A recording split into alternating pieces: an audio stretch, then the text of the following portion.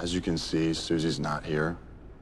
And I just want to let you know what happened because I think you all deserve to know. Like, I'm kind of shattered into pieces at the moment. And I'm questioning everything. And really, the person that's standing in front of you right now is not the person that you were last with.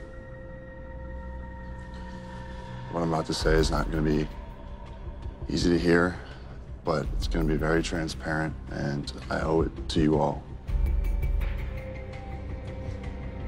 Um, yesterday, Susie told me that if I had told either of you that I was in love, or if I had been intimate with either of you, that she could not continue with this journey and that she felt that it was over for us.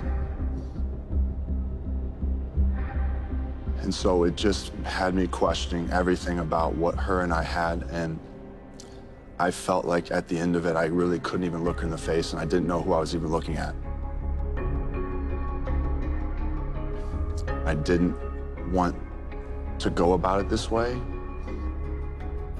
but because it became a deal breaker, like I don't want that to be a deal breaker with us. This is the hard part to say, but like, I was in love with her. And I was in love with each of you too. I am in love with both of you. And I also was intimate with both of you.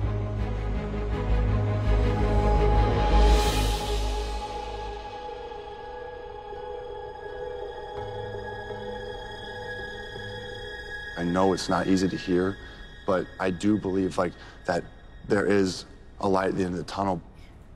I do see one of you being on the other side of it with me, and I don't have the answers. I don't know who that is. I really don't. Because I promise you, if I knew the answer to that, I wouldn't string somebody else along. And I understand that this is not what any of us expected to go through. So if you all want to ask me questions, I want to be able to explain everything, and I'm not holding anything back. I've told you since the beginning I will be transparent. And I respect whatever decision you all decide to make tonight. Whatever you need to do, like, you have that ability to do so.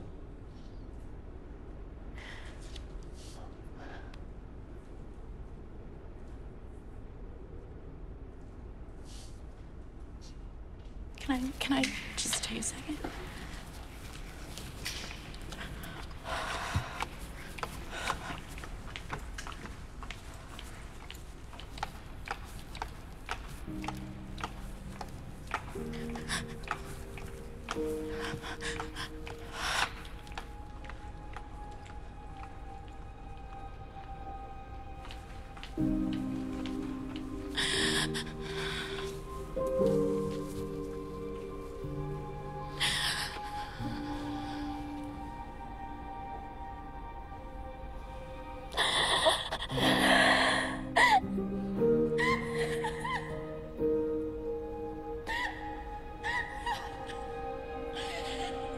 Told me he was falling in love with me, and he told Rachel.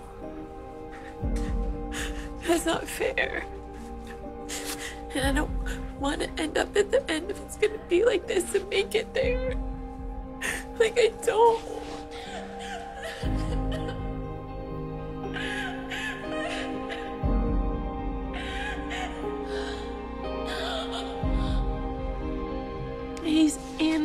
With two other people.